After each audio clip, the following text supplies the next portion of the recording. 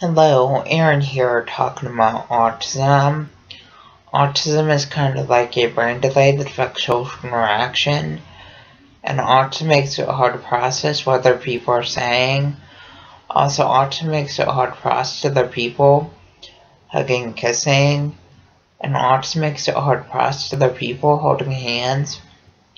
Also, autism makes for people are anxious when large crowds and loud sounds and launch makes for people anxious wearing backpacks.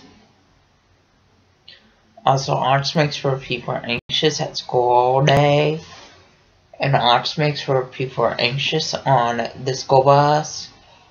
Also, arts makes for people anxious when fire alarms go off school. And arts makes for people anxious eating lunch at the school cafeteria. Also, just let know, autism makes for people have a hard time tying shoes and buttoning short collars.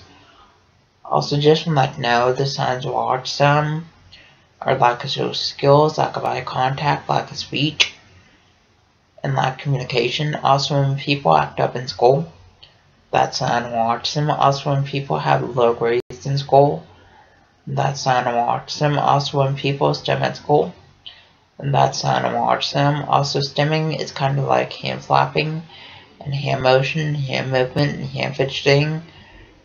And people with autism stimming stim at school classes and stim walking out of school classes. Please subscribe, rate, and comment.